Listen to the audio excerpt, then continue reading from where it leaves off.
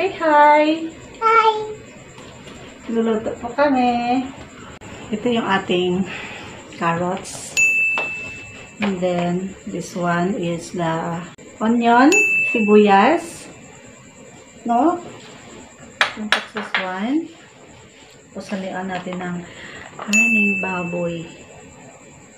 Mm. And then the and then pepper and bagyo beans. NANI?!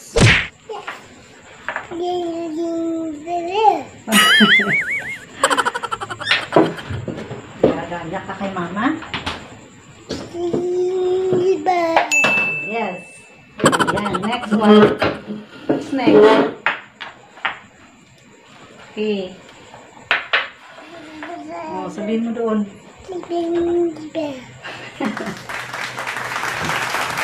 Nila.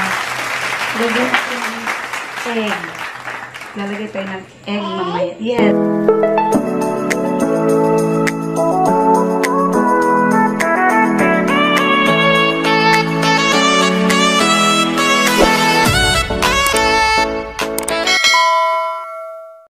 Good morning! Hello! Good morning everyone! Welcome to our vlog. Today we're going to make magluluto kami ni Nathan ng pansit. Pansit. Tuturuan namin kayo kung paano magluto na masarap na pansit. Yes, pansit. Pansit na fresh. So, stay connected. Mommy only. Okay, what's this? Sayote. Mag-ano tayo ng sayote? Yes.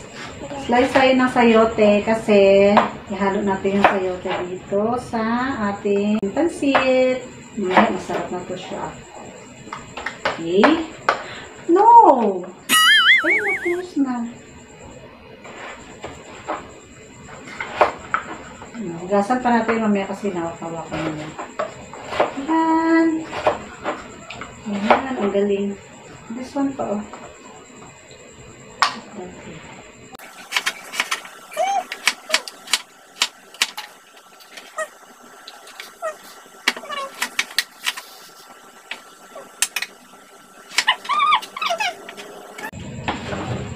Ito yung tayo.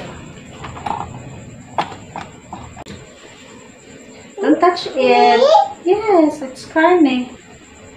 Hmm? Want to taste? Want?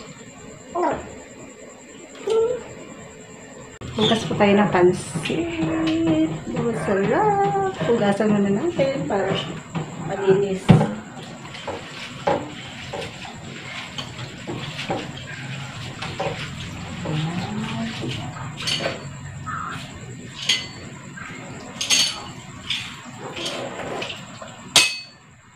So, natin dito. Here.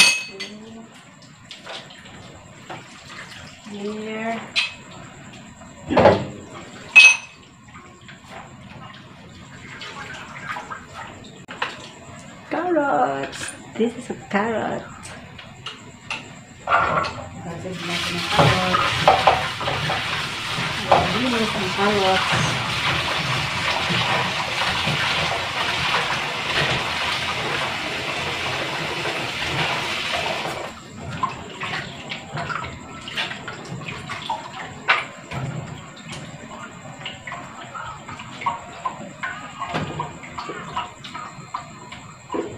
Ayan siya, oh. Busy rin siya. Say hi. Say hi to them. What are you doing? What are you doing? Hi! Okay, hello. Hello! Okay. Bye na. Bye!